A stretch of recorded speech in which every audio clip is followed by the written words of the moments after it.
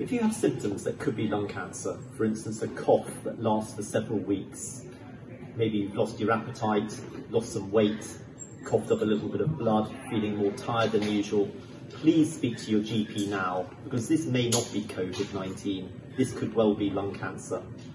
Our lung cancer services here at Royal Papworth Hospital are still up and running, and if you do need to come into hospital for treatment, you will be cared for with safety and in a safe fashion. You have nothing to be concerned about.